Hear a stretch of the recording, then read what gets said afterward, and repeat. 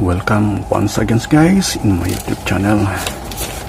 Today we're going to fix P4 alarm. Of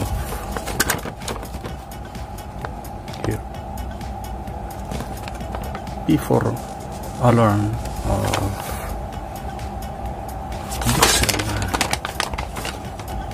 XR20CX and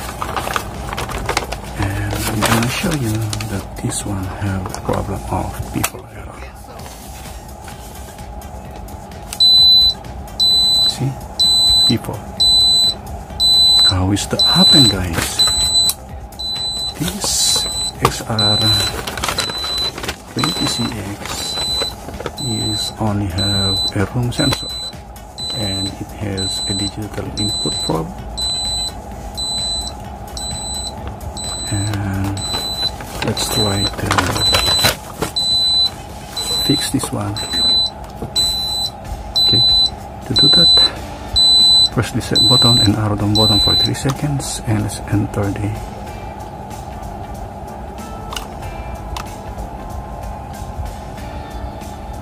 okay once again set button and arrow down button for 7 seconds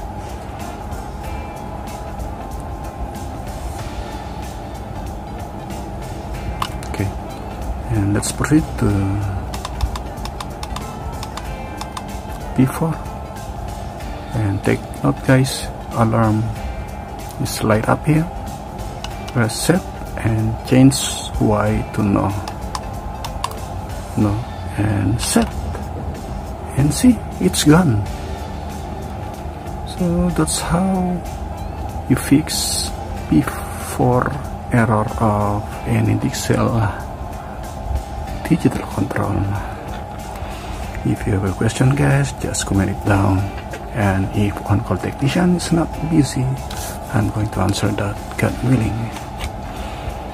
If you wish to follow me guys please click subscribe button and notification bell so you will be updated just in case I have a new uploaded video thanks for watching and subscribing. God bless